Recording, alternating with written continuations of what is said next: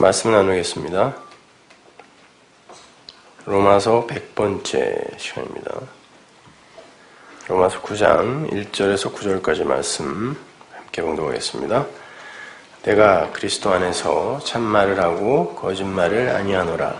내게 큰 근심이 있는 것과 마음에 그치지 않는 고통이 있는 것을 내 양심이 성령 안에서 나로 더불어 증거하노니 나의 형제 곧 고륙의 친척을 위하여 내 자신이 저주를 받아 그리스도에게서 끊어질지라도 원하는 바로라.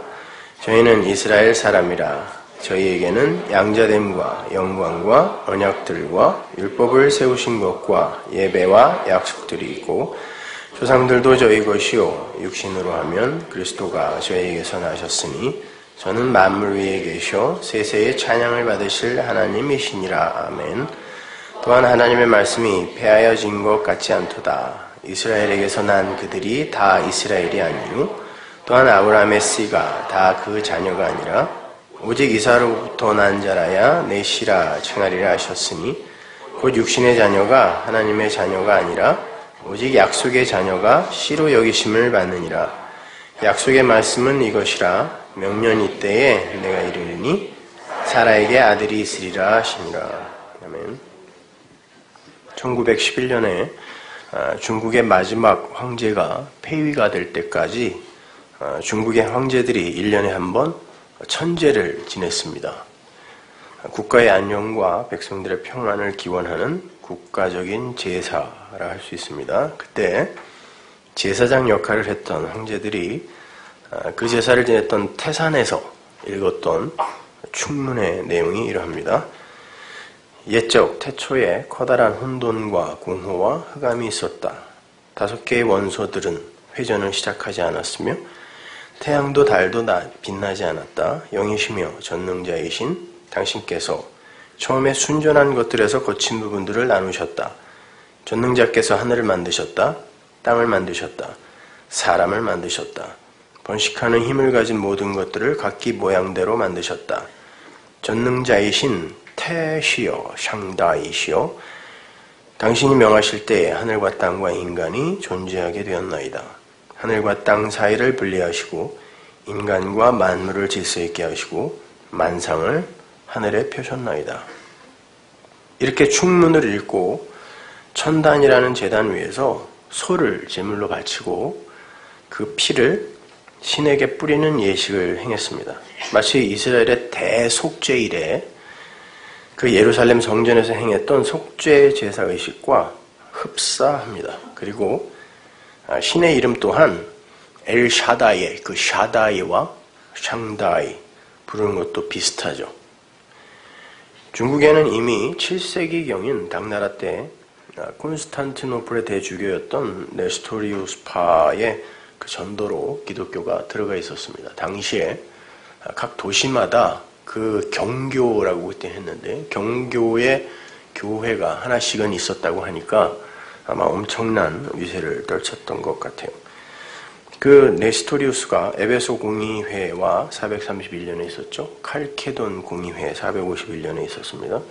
거기에서 2단으로 정죄된 후에 그의 추종자들을 이끌고 아시아 쪽으로 이동을 하면서 중국까지 들어가서 이제 기독교를 전파했던 겁니다. 그때 네스토리우스가 왜 이단으로 정죄가 됐냐면 아, 마리아는 신이 아니다라고 주장했기 때문입니다. 그러니까 전 세계 기독교 공의회라는 건 전 세계 기독교의 회의거든요. 전 세계 기독교가 아, 마리아가 신이 아니라고 한 어떤 일을 이단으로 정죄해서 그러면 전 세계 기독교는 마리아는 신이다라고 믿었다는 거죠. 어, 불과 예수님이 돌아가신 지 얼마 되지 않았을 때의 일입니다.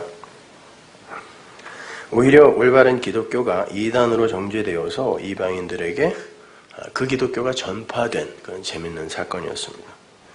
아, 그 경교의 영향력이 얼마나 엄청났는지 국가의 그 제사의 충문이 창세기 1장의 내용으로 아, 그렇게 만들어질 정도였어요. 아니 네스토리우스파의 전도가 아니었다 할지라도 이 세상 모든 민족들이 창세기 1장부터 10장, 11장에서 바벨탑 사건이 있었고 거기에서 언어가 팍 아, 나누어졌잖아요. 그러니까 1장부터 10장까지의 그 역사를 공유하고 있어요. 당연합니다. 그죠?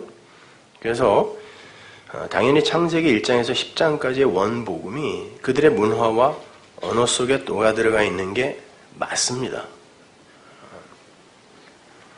어, 심지어 얼마 전에 그 지구 멸망의 근거로 제시되었던 그 마야의 달력이죠.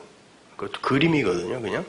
어, 잘 보시면 창세기 1장의 내용을 그냥 그림으로 그려놓은 거예요. 그 달력의 마지막이 뭐냐면 커다란 용 같은 뱀이 악어라고 하는데 거기서 물을 확 뿜어서 다 멸망시키는 거예요. 요한계시록의 그 마지막 이야기가 이제 마의 달력의 마지막이죠. 근데 그것을 뭐 작년 12월 언제라고 이렇게 얘기해서 그때 다 망한다 뭐 이제 생각했는데 창세기 이야기입니다. 그러나 아무리 그들이 성전 제사와 흡사한 속죄 제사를 지내고 창세기를 암송하여 충문으로 낭독을 하고 하나님의 이름을 샤다이, 샹다이라 불렀다고 해서 그들에게 구원이 임한 것은 아니었습니다. 아무리 레위기의 그 제사를 열심히 지내고 성경과 흡사한 충문을 외워서 낭독했다 할지라도 그것이 의미하는 바를 진리로 깨닫지 못하면 그 제사와 그 성경은 바다의 모래와 같은 쓸모없는 것이 되는 겁니다. 아니 오히려 저주가 되는 겁니다. 그래서 오늘 본문이 이삭 같은 자라야 하나님의 아들이다라고 선언하는 거예요. 하나님은 아브라함에게 너희 자손을 바다의 모래, 하늘의 별 이렇게 둘로 나누어 줄 거라고 그랬습니다. 그러니까 하늘의 별은 이삭 같은 자들이죠. 별이 되어서 그 빛을 비춰줄 수 있는 자들. 그러나 바다의 모래는 이삭 같지 않은 약속에 의해 탄생하지 않은 엉터리 아들들이 있다는 거죠. 그래서 이삭 같은 자들. 그 이삭 같지 않은 그 아들들도 성경을 갖고 있고 하나님의 이름을 불렀다는 걸 잊으시면 안 됩니다. 이렇게 하나님의 약속으로 완성된 아들이어야 하늘의 아들이 될 수 있다라는 그런 말이죠. 제가 이야기하고 싶은 건 그 사람들이나 진리를 알지 못한 채 열심히 제사 행위만 하고 있는 그리고 성경만 암송하고 있는 오늘날 어떤 이들과 뭐가 다르냐 이런 말입니다. 8장에서는 사도 바울이 그리스도 예수 안에 있는 자들에게는 결코 정죄함이 없다라는 그 대주제를 아주 구체적인 예를 들어가면서 자세하게 설명을 해줬어요. 그리스도 예수 안에 있는 사람들에게는 모든 것이 합력이 되어 선이 되기 때문에 그 어떤 것도 정죄나 심판의 근거가 될 수 없다라는 논지잖아요. 8장 전체가. 심지어 환란, 공고, 핍박, 기근, 적신, 위험, 칼이라는 이런 위험의 증상들도 하나님이 당신의 백성들에게 진리를 전해주시기 위해 동원하신 그 아래의 개념들, 즉 사망이나 생명이나 천사들이나 권세자들이나 현재일이나 장래일이나 능력이나 높음이나 기품이나 피조물들 이런 것들도 진리 앞에서 그 껍질을 벗고 그 내용을 드러내 줌으로 말미암아 그 내용의 곡해로 말미암게 되는 그런 끊어짐의 재료가 될 수 없다라고 이제 8장이 마무리되잖아요. 그죠? 8장 전체의 내용이 이렇게 머릿속에 그려주셔야 됩니다.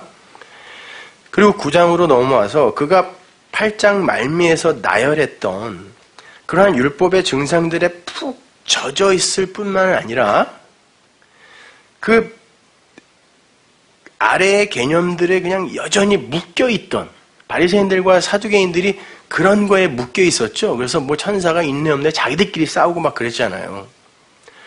그렇게 묶여 있었던 그래서 메시아를 죽여버릴 수밖에 없었던 그런 민족적 이스라엘을 대상으로 이게 바로 너희들의 모습이다라고 이렇게 지적해 주는 게 로마서 9장 10장인 거예요.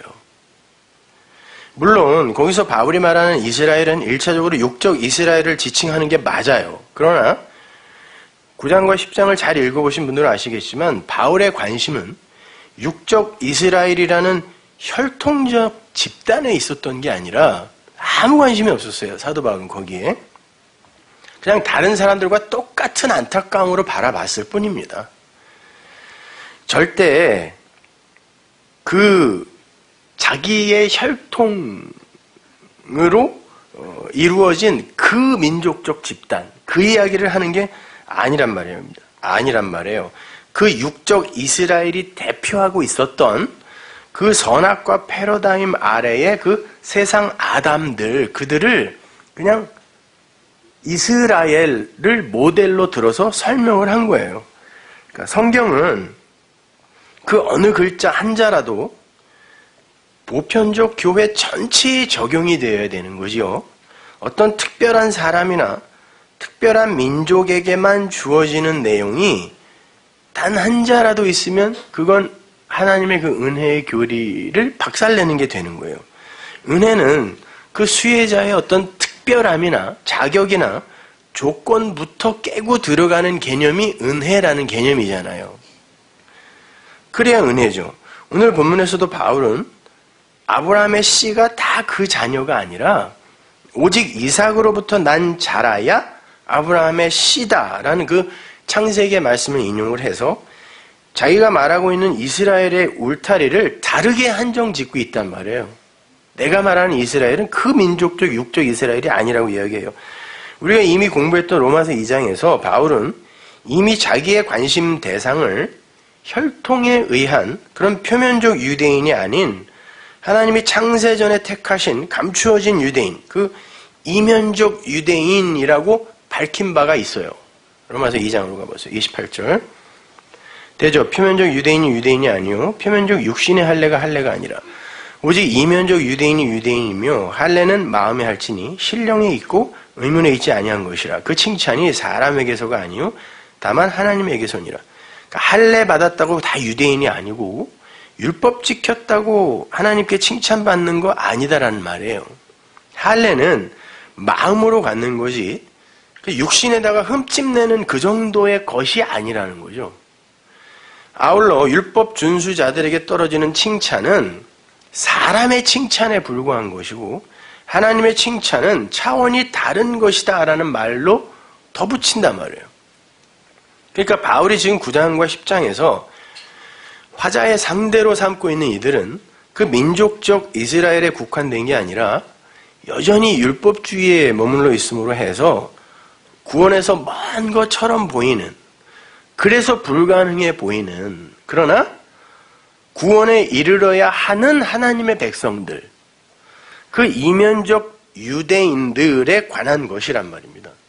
근데 그들에게서 나타나는 모습이 그 민족적 이스라엘, 그 저주받은 자들로 그렇게 성경에 등장하는 그런 민족적 이스라엘의 모습과 흡사하기 때문에 그들을 들어서 설명하는 것 뿐이란 말입니다.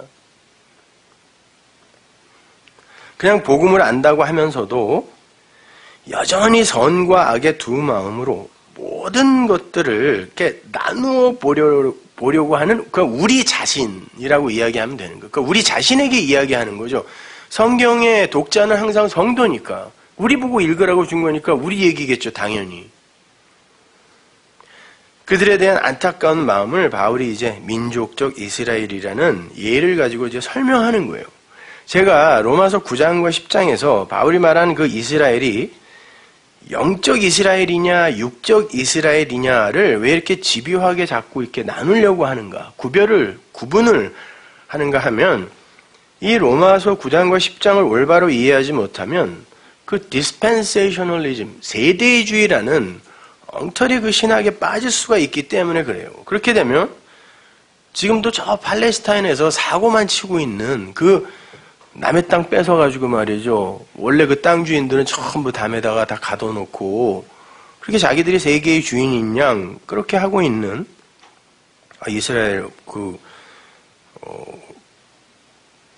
저 교인들 중에도 우리 그 설교를 듣는 분들이 있다 그랬는데 메시아닉 주 몇 분이 이걸 듣고 있다 그러시더라고요. 통역을 해서. 하여튼 근데 뭐 사실이잖아요. 그러한 어떤 민족적 이스라엘의 흥망성쇠에 의해서 성경의 내용 전체가 이리저리 곡해가 된단 말이에요. 세대주의로 성경을 보게 되면. 왜냐하면 그 이스라엘이 중심이거든요. 바울은 민족적 이스라엘이나 그 울타리 밖에 소위 이방인들이나 똑같이 안타까운 마음으로 대했던 사람이에요. 오히려 그는 자기 자신을 이방인에게 보내진 사도라고 지칭했을 만큼 구원에 있어서의 그 민족적 이스라엘의 차별적 우위의 선민 사상을 부정했던 사람이에요. 그래서 바울은 9장과 10장에서만 이스라엘이라는 이름을 사용하는 거예요. 혹시 자신의 편지를 읽는 사람들이 세대주의자들처럼 자신의 이야기를 민족적 이스라엘로만 국한하여 이해를 할까봐 다른 곳에서는 그냥 유대인이라고 하다가 9장과 10장의 그 하나님의 아들들, 8장에서 그 아들들이 나타나서 이 피조물들의 진의를 진리로 설명해 주었으면 좋겠다라는 그런 내용을 중심으로 해서 8장이 전개가 되니까 9장과 10장은 그 아들들에 관한 이야기일 거 아닙니까? 예, 그들을 이야기할 때는 이스라엘이라는 이름을 사용하는 거란 말이에요. 왜? 야곱이라는 과정을 거쳐서 완성되면 이스라엘이잖아요. 그러니까 야 곱은 율법이고 거기에서 이스라엘이 되면 그 야곱이 깨지고 환도뼈가 깨져서 그 안에는 씨가 드러나게 되면 그가 이스라엘이 되는 거잖아요. 그러니까 성경에 나오는 이스라엘은 바로 그 이스라엘로 이해를 하셔야지 지금 저 민족적 이스라엘로 이해를 하시면 절대 안 됩니다, 여러분.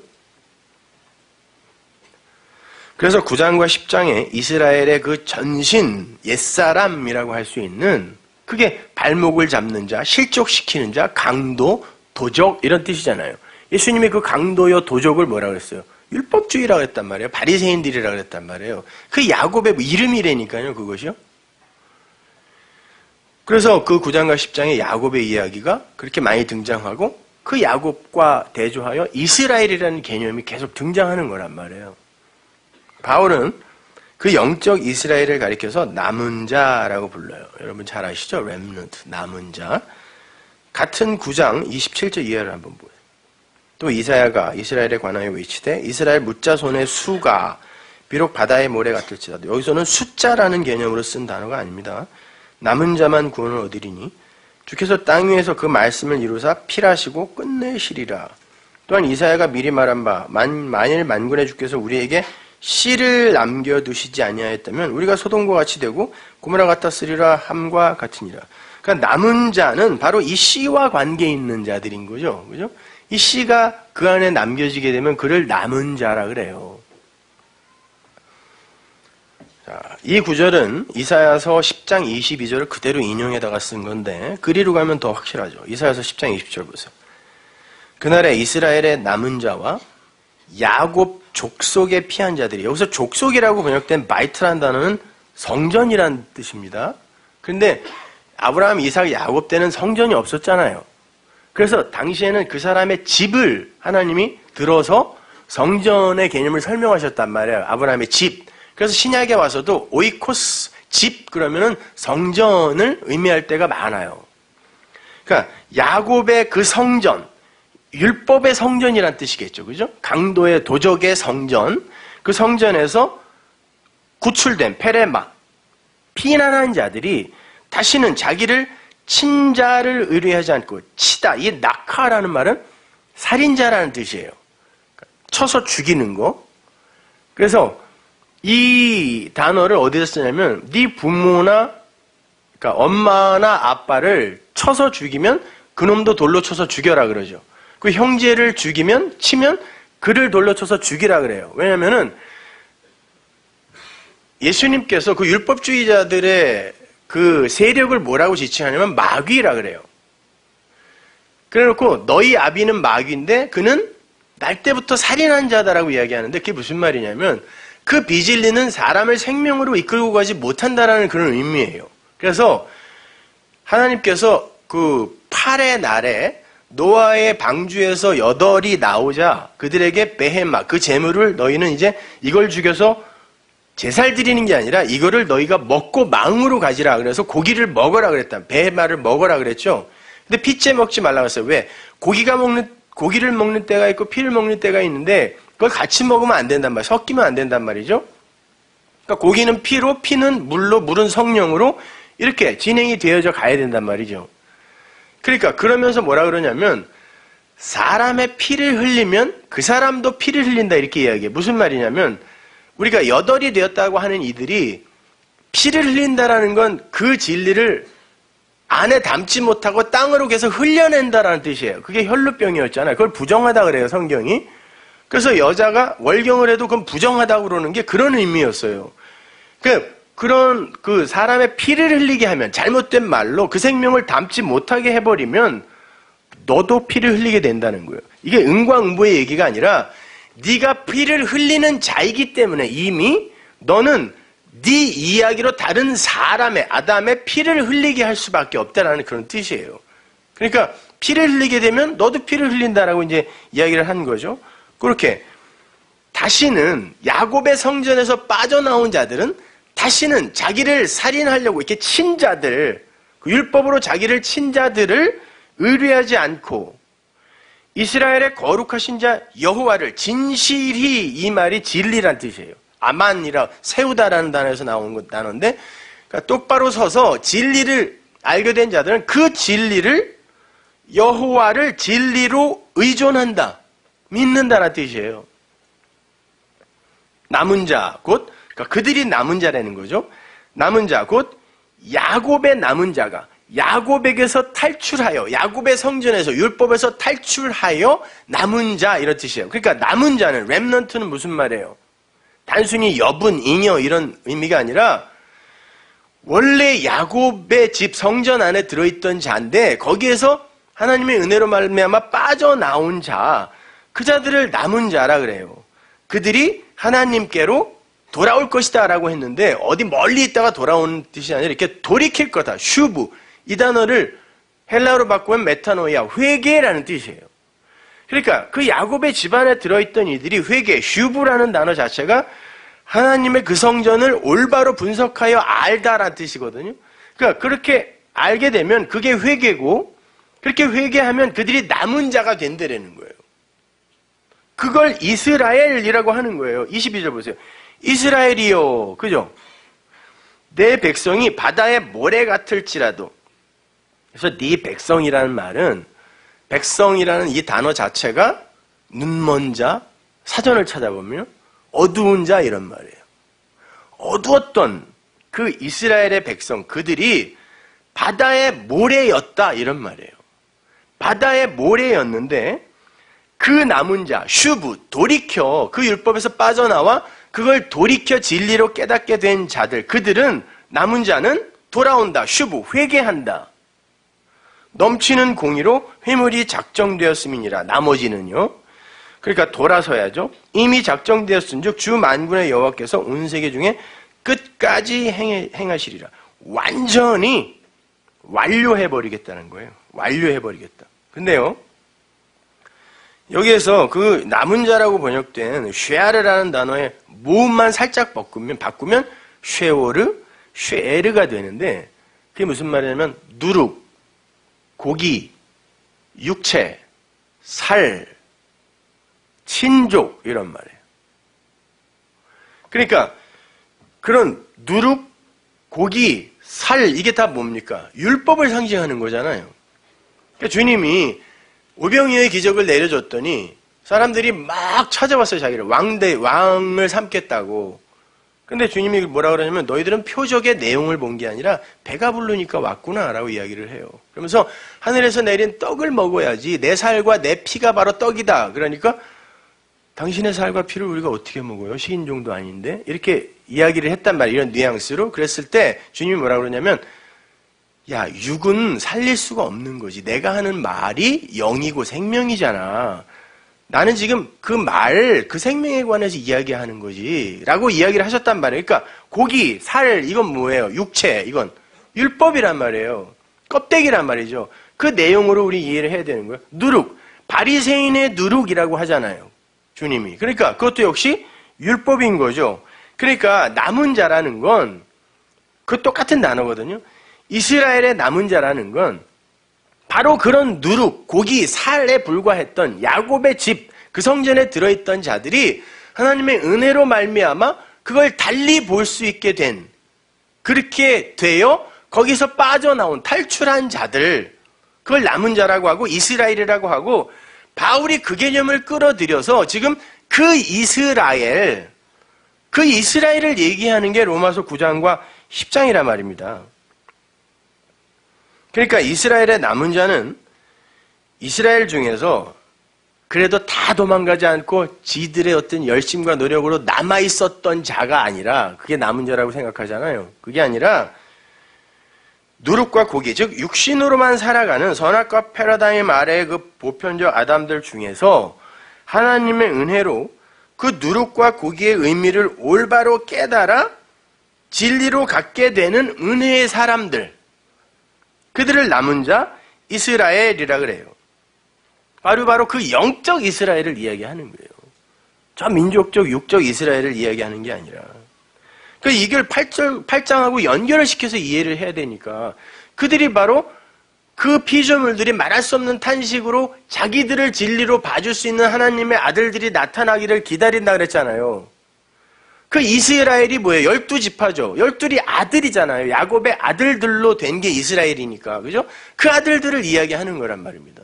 그러니까 그 아들들, 그 영적 그 이스라엘, 그걸 이야기하는 거예요. 그래서 로마서 11장으로 가면 그 이스라엘이라는 남은 자들을 이렇게 설명해요. 11장 5절 보세요. 그런지 이와 같이 이제도 은혜로 택하심을 따라 된 남은 자 이렇게 이야기해요. 은혜로 하나님이 택한 자 그들을 남은 자라고 한다 이렇게 이야기한단 말이에요. 만일 은혜로 된 것이면 행위로 말미암지 않으니 그렇지 않으면 은혜가 은혜되지 못하는 거 아니니? 그죠? 남은 자는 은혜로 말미암는 자인 거예요. 바로 그런 이스라엘을 이야기하는 거란 말입니다. 하나님의 은혜로 택하심을 받아서 그 율법을 진리로 마음에 새길 수 있게 된 하나님의 택한 백성 전체. 이걸 이스라엘이라 그래요. 이긴 자. 그러한 남은 자의 정의를 머리에 새기고 로마서 11장에 그 온 이스라엘이라는 그 무리를 한번 해석해 보자고요. 요게 지금 어, 세대주의자들이 어, 자기들의 전가의 보도처럼 이렇게 내놓는 구절들이거든요. 그 이스라엘은 전부 구원받게 된다는 거죠. 그러면 지금 미리 죽은 사람들은 말이 안 되잖아요. 그리고 그 이스라엘이 도대체 무엇 이스라엘이라 그래요? 그 사람들의 대부분이 원래 유대인들의 피의 30%도 안 갖고 있다는데 뭘 유대인이라고 해요? 거기 살면 유대인입니까? 로마서 11장 25절 보세요. 형제들아 너희가 스스로 지혜 있다 함을 면기 위하여 이 비밀을 너희가 모르기를 내가 않으니 알기를 원한다 이거죠. 이 비밀은 무스테리온 이방인의 여기 이방인이란 말이 이게 중성입니다. 남성 아닙니다. 그러니까 이방적인 것 이렇게 이야기를 해야 돼요. 이해를 하셔야 돼요. 그러니까 율법 아래 세상의 것들 이방적인 것에 충만한 수는 충만하다는 건 이게 완성이에요. 이방적인 것이 진리로 완성되기까지는 이스라엘의 덜어 이스라엘의 몇 명이가 아니라 호메로스란 단어가 분깃 반쪽이란 뜻이에요. 자칼과 네케바의 반쪽. 그러니까 이스라엘이라는 존재. 그러니까 우리가 하나님의 아들이잖아요. 그게 성경이 말하는 이스라엘이 상징하고 있는 거죠. 하나님의 아들들, 택하신 백성들. 그 아들들이 처음에는 그 반쪽을 뭘로 갖고 있어요? 완악한 것이다. 이 완악하다라는 말이 어두움이다. 이런 뜻이죠. 처음에는 그들이 율법에서 이방적인 것에서 완성이 되기 위해서는 처음에 그들의 반쪽, 그들의 남편은 어두운 것, 율법으로 갖고 있는 게 맞는 거예요. 왜? 그거밖에 없으니까 아래에는. 그거밖에 없기 때문에 그 이방적인 것이 완성이 되기 위해서는 이스라엘 말고 다른 이방인들이 구원받아야 되는데 하나님이 정해놓은 그 수가 다 차기까지는 이런 말이 아니란 말이에요.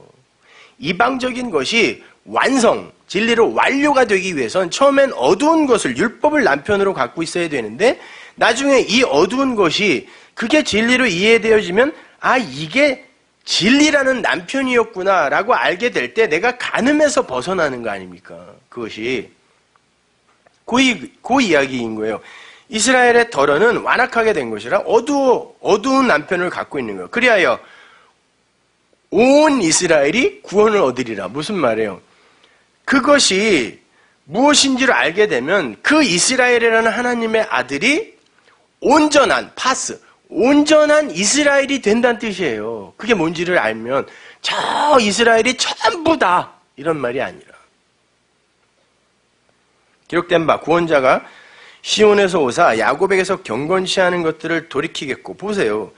시온을 위하여예요. 이사야서를 보면 이게 이사야서 인용된 거거든요. 시온을 위하여 시온이라는 그 하나님의 나라 그 묵시 속의 그 나라 이야기하는 거. 그 나라를 위하여 야곱에게서 야곱은 뭐라 그랬어요?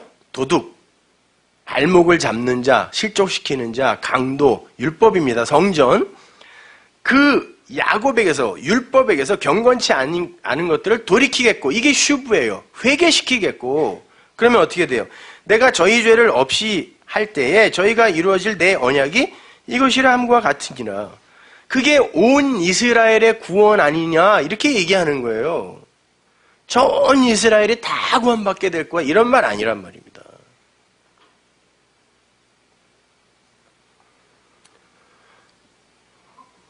그러니까 모든 것이 합력하여 선을 이룬다 해서 그 모든 것과 온 이스라엘의 그 온이 같은 단어거든요. 그러니까 모든 것 안에 그 모든 것 안에 그 모든 것은 창세기 2장 1절에 하나님의 하신 천지 창조가 모두 이룬이라 그렇게 돼 있죠. 개혁성경 어떻게 돼 있는지 모르겠는데 하여튼 모두 그 단어예요. 콜.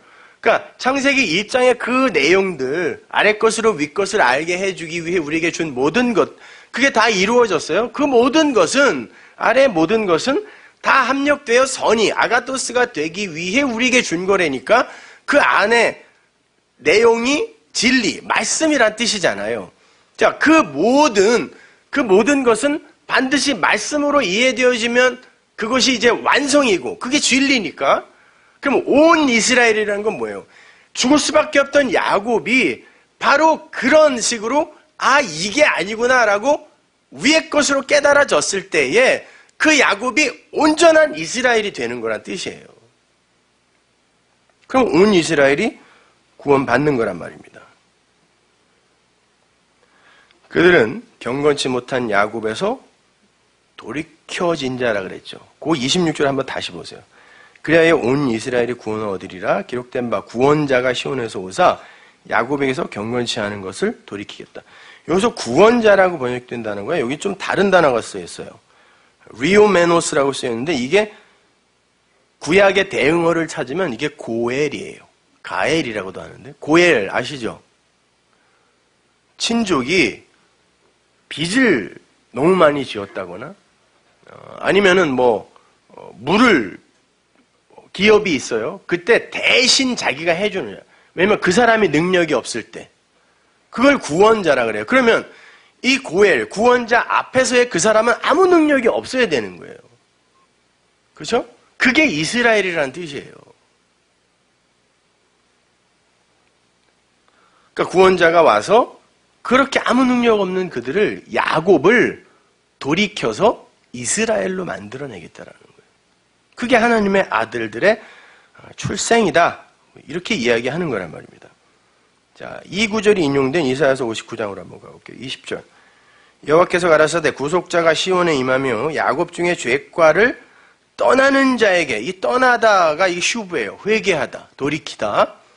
야곱에서 그 죄를 떠나는 자. 그럼 이제 진리가 되는 거죠. 그죠?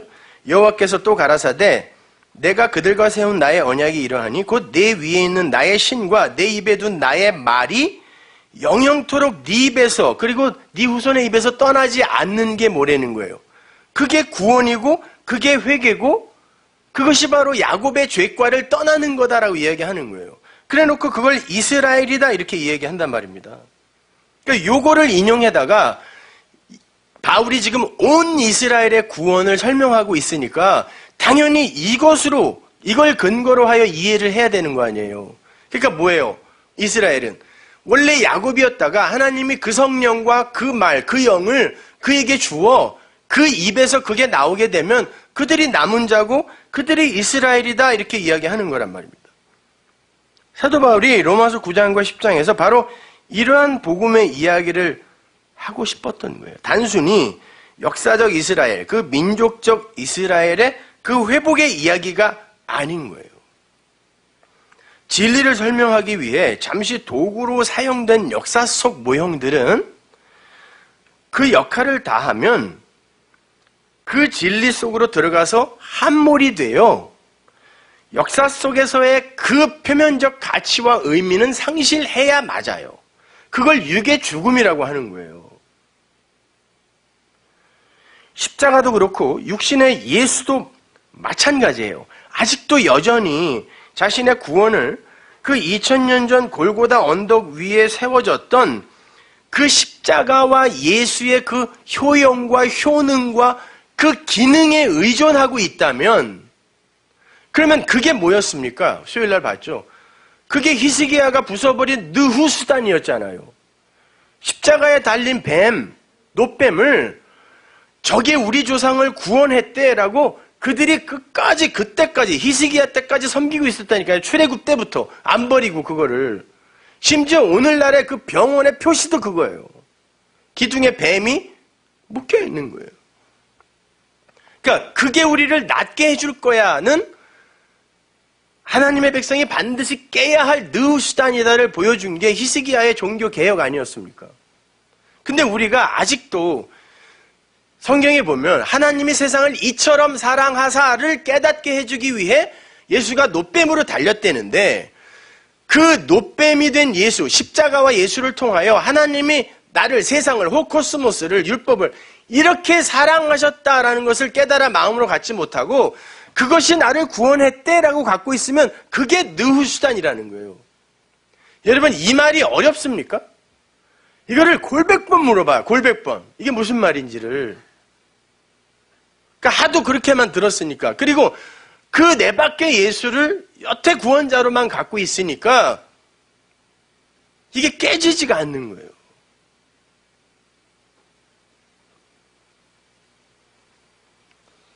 그게 오늘도 여전히 십자가 위에 매달려 있는 예배당의 예수 아닙니까? 그건 내 마음에 들어와서 여기서 사라져야 되는 거예요. 당연히 여기 우리 건물이 아니라 이거 못 따라서 아주 속이 후련한데 이거 우리 건물이었으면 달았을 거라고 누가 합일들여 그것도 목사가 뛸 수도 없고 그건 그렇게 달아놓는 게 아니라니까요. 그리고 성경에서 말하는 십자가는 기둥이라니까요. 스타우로선 단어. 언약이란 뜻이란 말이에요. 그 역사 속 십자가와 역사적 예수 안에 대속과 구속의 능력이 없다는 말이 아니에요. 오해하지 마세요.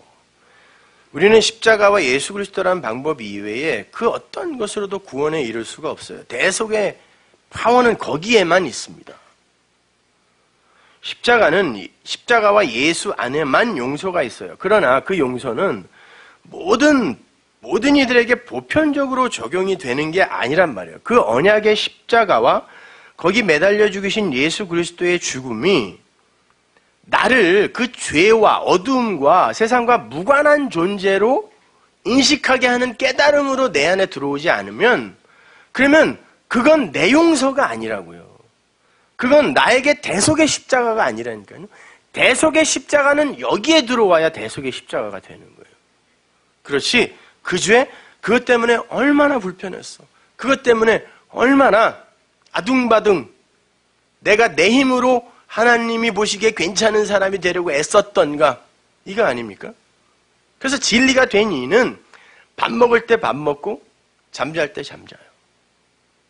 다 밥 먹을 때 밥 먹고 잠잘 때 잠자지. 아니요. 사람들은 밥 먹을 때 걱정하고 잠잘 때 계획을 세웁니다. 그래서 진리라는 고승들은 항상 그 대답을 했어요. 진리가 되면 밥 먹을 때 밥 먹지. 왜 밥을 못 먹어요?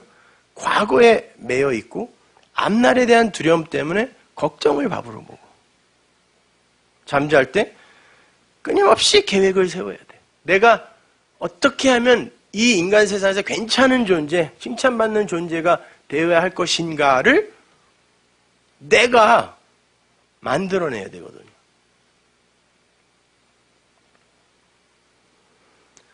천만의 말씀입니다, 여러분. 그런 것으로 우리는 하나님이 기뻐하시는 자가 될 수가 없어요. 그 십자가와 그 예수는 내 안에 진리의 영, 성령, 그 말씀으로 들어와 있어야 돼요. 그래야, 아, 그렇지. 이제는 그 어둠과 그 죄와 내가 무관한 자가 된 거구나. 왜냐면 그건 내용을 담고 있던 다른 껍데기였으니까 그렇게 자유로워하시는 거. 그러면 그 예수와 십자가는 나에게 대속의 예수가 되는 거예요.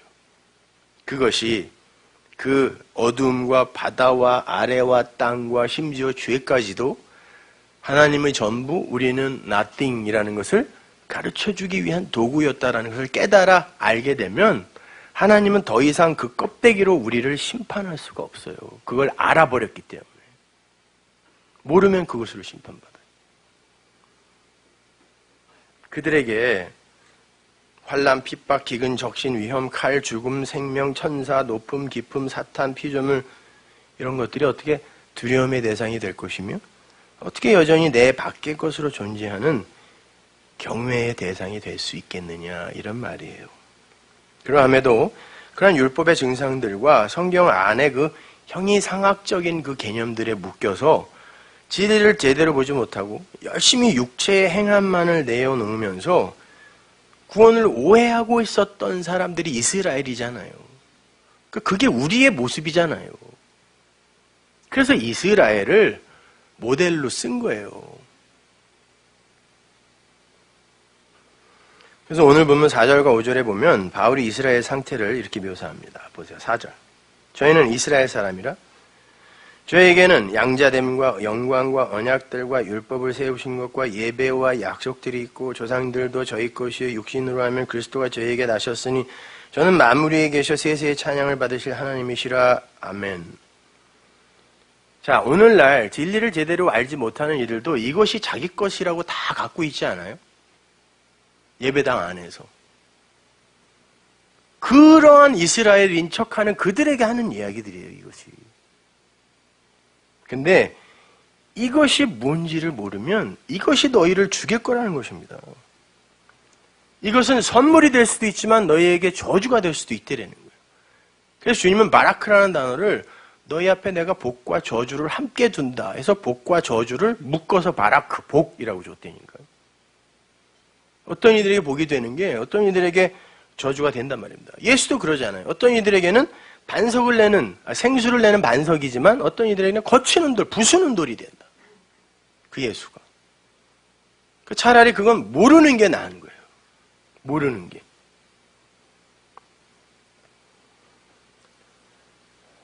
여기 보면 씨라는 말이 계속해서 등장하는데 그들을 하나님이 믿음의 조상인 아브라함에게 약속하셨던 그 씨를 가진 자들, 그들이 진짜 그 씨를 설명하기 위해 이삭이라는 존재가 또 모델로 주어진 거잖아요.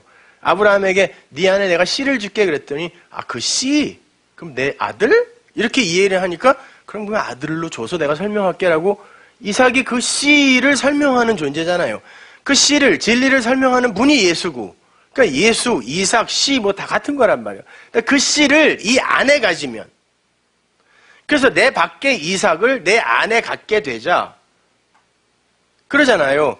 창세기 21장에서 아브라함이 갑자기 일곱 우물 무엘 쉐바라는 것을 깨달아 알고 이게 약속이다라고 이야기를 한단 말이에요. 그러고 나니까 하나님이 그렇지 그게 언약이지 그게 일곱 언약이잖아. 그게 생수가 쏟아나는 우물이잖아.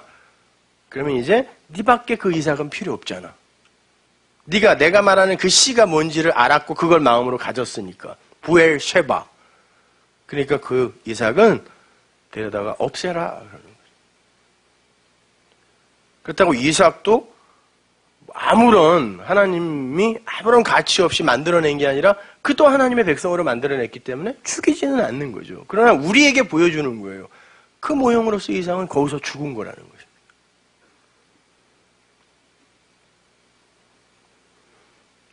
그 이야기를 하기 위해서 동원된 게 바울이 그 자기의 혈통에 매여 있었던, 묶여 있었던 그 이스라엘인 거예요. 본문 6절 이하를 한번 보세요. 또한 하나님의 말씀이 폐하여진 것 같지 않도다. 이스라엘에게서 난 그들이 다 이스라엘이 아니요. 분명히 얘기해 주잖아요. 그죠? 또한 아브라함의 씨가 다 그 자녀가 아니라 오직 이삭으로부터 난 자라의 내 씨라 칭하였으리라. 곧 육신의 자녀가 하나님의 자녀가 아니라 오직 약속의 자녀가 씨로 여기심을 받느니라. 근데 왜 이러한 말은 싹 잊어버리고 왜 11장에 온 이스라엘의 구원에만 집착하냐고요. 자, 이 이야기를 오늘날로 가져와서 이해를 한번 해보자고요. 오늘날 나는 구원받은 사람이 확실하다라고 굳게 믿는 사람들 중에 정말 그 진리의 씨를 갖지 못한 사람들이 태반입니다. 성경은 그들에게 외치고 싶은 거예요. 정신 똑바로 차리고 율법의 야곱에서 벗어나라. 이스라엘이 되어야 된다는 거예요. 하나님은 그렇게 만들겠다라는 거예요. 야곱에게서 너를 끄집어내어 이스라엘로 온전한 이스라엘로 만들어 버리겠다라는 거예요. 그래서 그래야 진짜 이스라엘이라는 거예요. 그래서 상수리 나무 아래에다가 야곱과 그의 후손들이 귀고리를 그 우상이라고 해놓고 그걸 귀고리라 그래요. 그걸 빼서 전부 묻어버린 거예요. 상수리 나무는 성경에서 언약의 나무죠. 진리의 나무. 그래서 우리도 그걸 참나무라고 그럽니다. 상수리 나무과에 있는 나무를 전부 다. 그걸로 만들어야 숯도 아주 오래 가고 참나무예요. 창세기 35장 1절 보세요. 하나님이 야곱에게 이르시되 일어나 베델로 올라가서 자 베델 하나님의 집입니다. 물론 다 상징이에요. 거기 구하면 네가 내 형 에서의 낯을 피하여 도망하던 때에 내게 나타났던 하나님께 거기서 단을 쌓으라 하신즉 야곱이 이에 자기 집 사람과 자기와 함께한 모든 자에게 이르되 너희 중에 이방 신상을 버리고 자신을 정결케 하고 의복을 바꿔라. 이제 겉옷으로 바꿔 입어야죠. 옛 옷을 이제 진리의 옷으로 바꿔야 되는 거예요. 우리가 일어나 베델로 올라가자 나의 환란 날에 내게 응답하시며 나의 가는 길에서 나와 함께 하신 하나님께서 께 내가 거기서 단을 쌓으려 하노라 하며 그들이 자기 손에 있는 모든 이방 신상 자기 귀에 있는 고리를 야곱에게 주는지라 야곱이 그것들을 세겜 근처 상수리 나무 아래에 묻고 옛날에는 자기의 그 수호신 우상이죠. 그거를 귀에다가 달고 다녔다 그래요. 그것도 다 의미가 있는 거예요. 왜 귀에다 다냐면 우상이라는 게 뭐예요? 하나님의 말을 잘못 들으면 우상이 되는 거예요. 그래서 귀예요. 귀구리. 그걸 전부 빼서 어떤 것을 만든 적이 있었죠. 금송아지라고 하는데 금소입니다. 소를 금으로 치장해 놓고 그것으로 자기의 신을 삼았던 게 애굽의 풍요의 신이었어요. 아피스의 황소. 그걸 똑같이 만들어 놓고 뭐라고 그러면서 만드냐면 우리의 인도자가 어디 가서 사라졌네? 그럼 우리는 누구의 말을 들을까? 자, 우리가 들을 그 인도자를 만들자. 그래서 귀걸이를 뺀 겁니다.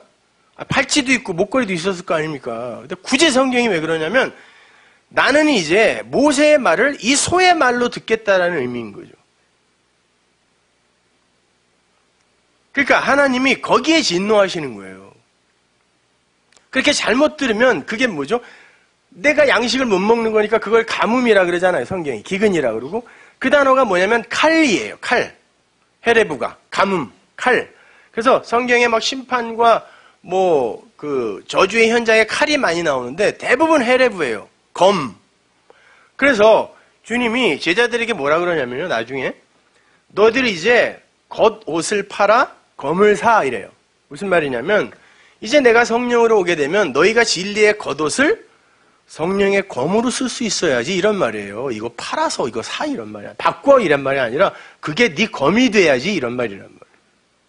근데 그 검이 전신갑주의 그 성령의 검이 못 되면 남의 귀를 자르는 검이 된다니까요. 그래서 베드로가 지검을 갖고 쳤는데 말구의 귀가 나간 게 뭐냐면요.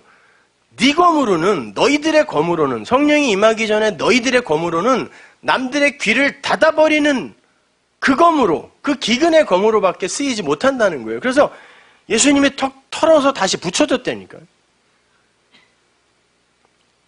못 들으면 죽는 거니까. 그래서 나중에 옷 팔아서 검사 그러더니 제자가 갖고 와요. 검 두 개가 있나이다. 그래 그거야. 그것으로 내가 설명해 줄 거야. 그러니까 그래요. 그 검, 남의 귀를 자르는, 살인해버리는 그 검은 너를 망하게 할 거고, 성령의 검이 너와 그 상대방을 살리게 할 거라는 것입니다. 귀예요, 귀. 그래서 예전에는 종이 희년이 되면 나가야 되는데, 이 주인이 너무 좋아. 그래서 나는 죽는 날까지 당신의 말만 듣겠습니다라고 고백을 하면 언약의 기둥에다가 기둥에다가 그 종의 귀를 대고 뚫었어요. 그리고 귀고리를 달아줬습니다. 그리고 그때부터 그는 상속권을 가져요. 아들이 된다는 뜻이에요. 무슨 말이냐면 우리가 진리를 알았습니다. 자유예요. 나가라 그래요. 영생의 말씀이 여기 계신데 내가 어디로 가오리까? 안 간다고요. 그럼 넌 내 거다라고 뚫어주면 그 귀가 뚫린 이들을 아들이라고 하는 거예요. 그러니까 전부 그 이야기 하는 거죠. 그러니까 야곱은 바로 그 귀를 다른 귀로 받는 자인 거예요. 언약의 기둥 아래 옛날 잘못 듣던 율법의 귀를 다 묻어버리고 새 귀를 부여받는 자. 그게 이스라엘이에요. 로마서 9장과 10장에서 말하는 그 이스라엘.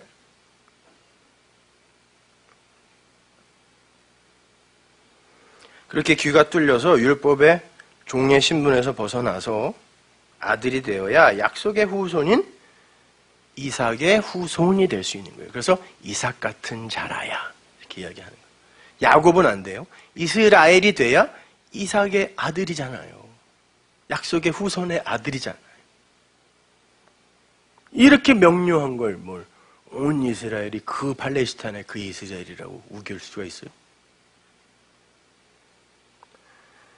그러니까 야곱이 그 야곱이라는 크로노스의 과정을 잘 밟아서 이스라엘이라는 그 카이로스의 존재에 화가 되지 못하면 그는 나는 분명히 구원을 받은 약속의 후손이야 라고 굳게 믿으면서 열심히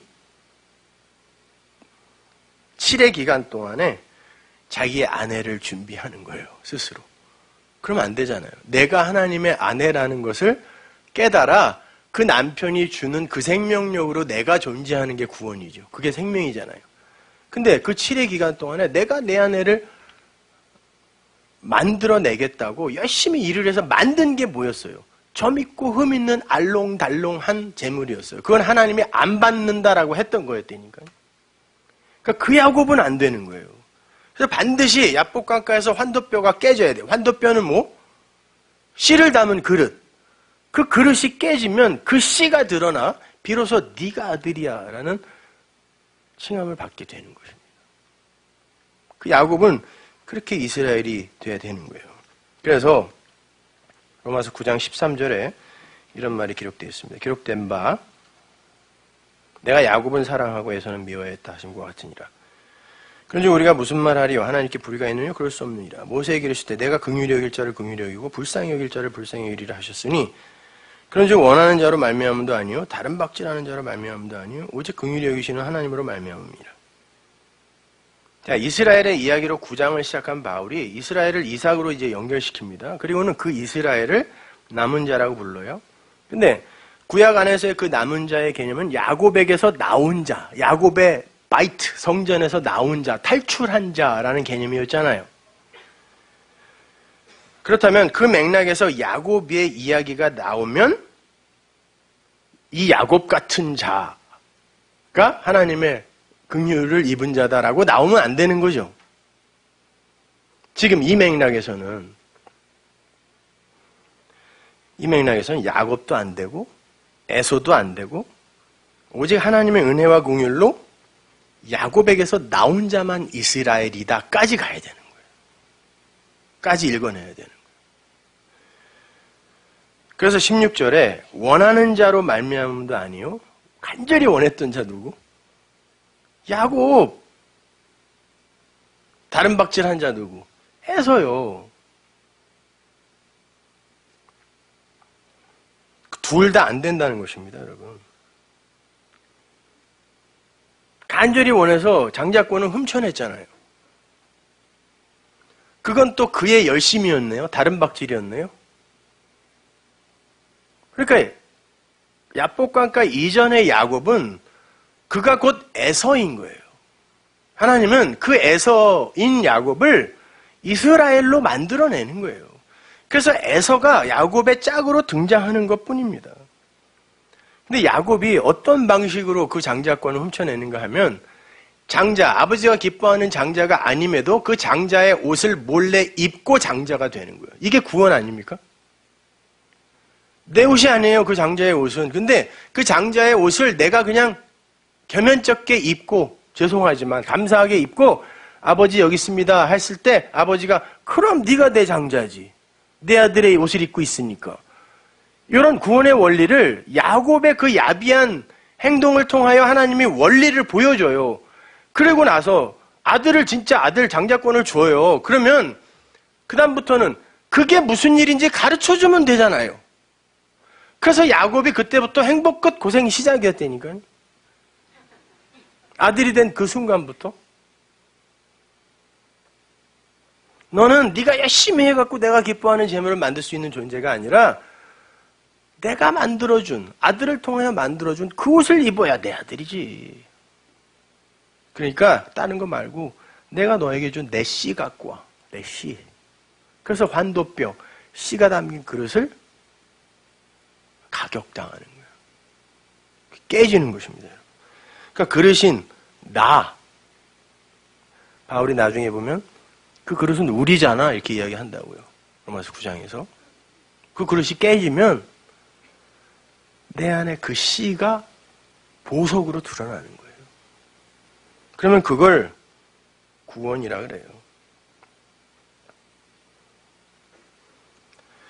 그래서 바울이 이야기하는 겁니다. 원하는 자의 간절한 원함으로 되는 것도 아니고 다른 박질하는 자의 다른 박질로도 되는 게 아니라는 거예요. 야곱이나 에서나 똑같은 인간들이라는 것입니다. 그러나 야곱에게 하나님의 사랑이 임하자 야곱이 야곱을 뚫고 나와 이스라엘이 되더라는 거예요. 보세요. 야곱이 그렇게 죽도록 고생할 동안 에서는 야곱보다 더 부자 됐었다니까요. 남자답고 멋지고 동생을 심지어 용서해줘요. 근데 어디에도 그 에서가 구원을 받았다는 기록이 없어요. 그 에서는 에돔이라고도 쓰는데 그게 붉은 빛이에요. 그래서 예수님이라는 하늘의 왕이 오셨을 때 이 세상의 왕이 에돔 사람 헤롯이었어요. 그건 안 된다는 겁니다. 야곱이 어머니가 마련해준 그 형의 옷을 입고 장자권을 얻으러 갔을 때 에서는 내가 우리 아버지가 기뻐하는 건 내가 만들어낼 수 있는데 왜 어머니의 도움을 받아? 내가 할 거야 라고 열심히 활 쏘고 다녔다니까요. 근데 그 에서가 세상 왕의 조상이 되는 거예요.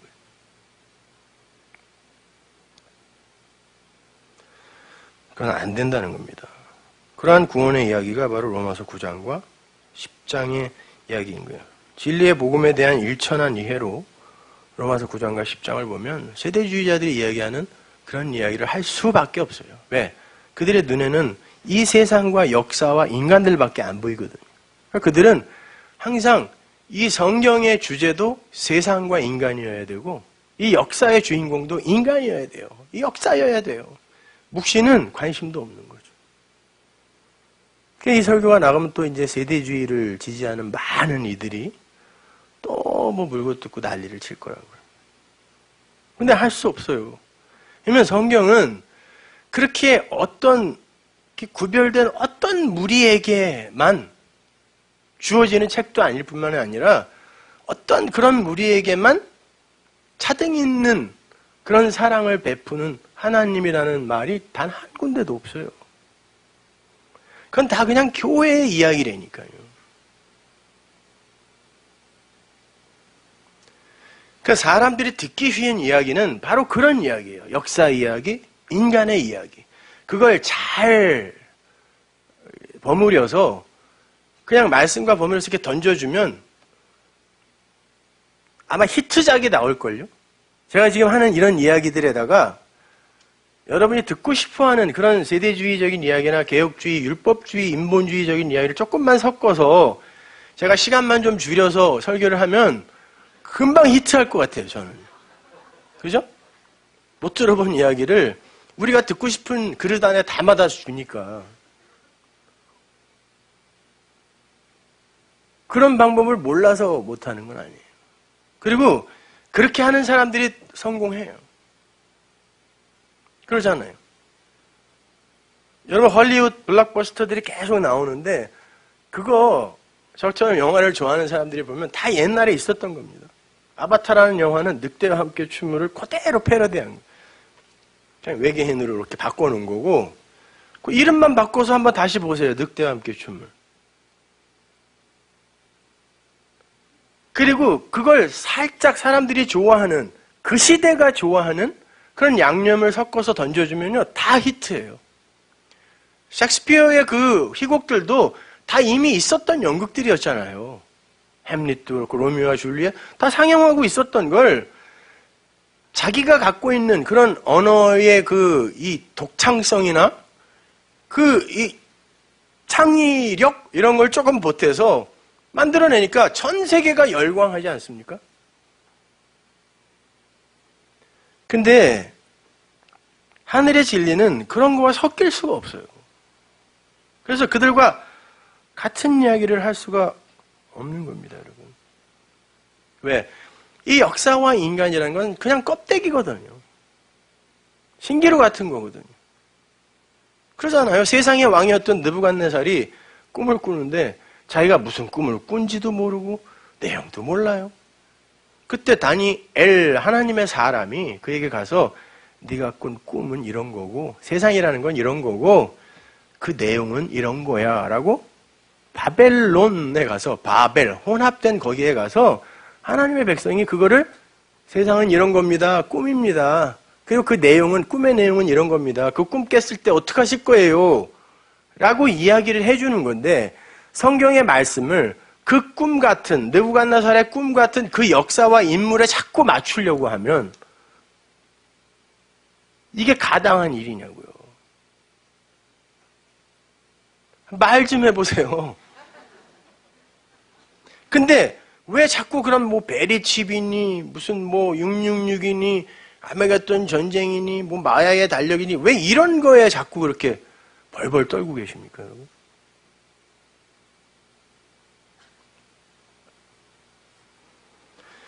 천만의 말씀이에요. 세상은 불꽃 같은 어떤 강렬한 인상을 이 역사 속에 남기고 가고 싶어 해요. 역사도 그렇고 인간들도 마찬가지. 우리 옛날에 진짜 문학소년 시절이 다들 있었잖아요. 그때 가장 동경하는 게 뭐였어요? 저 명동의 그 고전 음악다실에 아침부터 가서 커피 한 잔 시켜놓고 하이데코의 책을 읽으며 어? 가끔 기침을 했는데 손수, 하얀 손수건에 피가 섞여 나와. 그리고 랭보처럼 한 젊은 시절에 위대한 작품 하나 남기고 일찍 죽어버리는 거. 그 낭만주의라고 그러죠? 한마디로 제가 바꿔드릴까요? 겉멋이라고 하는 거예요. 세상은요, 그렇게 뭐 불꽃처럼 강렬한 인상 남기고 그렇게 가는 게 아니라, 아니면 헛건데요, 뭐. 그냥 그 객주라는 소설에 보면은 우리 아버지들, 조선시대 보부장들이 그 천리가 되는 11령, 왜 또 12곡인지 몰라. 그 11령을 남고 넘어 400km 아닙니까, 천리면.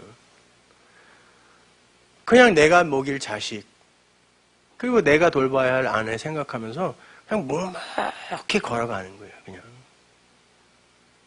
천국 가족도 생각하면서 묵묵히 그냥, 그리고 그 걸어가는 그 길에 보이는 그걸 그 하나님 그 진리로 보아가며 그냥 남들이 알아주던 못 알아주던 그냥 한 발 한 발 가는 것이 인생이지. 그뭐 그냥 아둥바둥 여기에서 무슨 강렬한 불꽃처럼 살겠다고 밥 먹을 때도 걱정해 잘 때도 그냥 계획 세우고 음모를 꾸미고 이러다가 그냥 곧 가는 거죠. 성경은 그런 것을 잘할 수 있게끔 단 한마디도 이야기하고 있지 않아요. 세대주의적으로 성경 읽는 건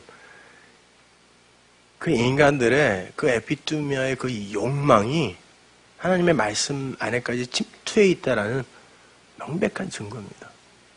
다음 주부터 한 절 한 절 풀어드릴 텐데, 그러면 여러분이 그 세대주의적 관점으로 성경을 보는 게 얼마나 무식하고 무서운 것인지 아시게 될 거예요. 기도하겠습니다. 하나님 은혜를 감사합니다. 아버지 하나님, 저희들이 허락하신 이 세상과 내 육신과 심지어 내 의지와 감정까지도 하나님의 선을 담아내기 위한 그릇임을 우리는 매일같이 성경을 통하여 배우고 있습니다. 절대 거기에 묶이지 말게 하시고 하나님 부르실 때 훌훌 버리고 털어버리고 떠날 수 있는 그런 자유를 허락하여 주옵소서. 예수님의 이름으로 기도합니다.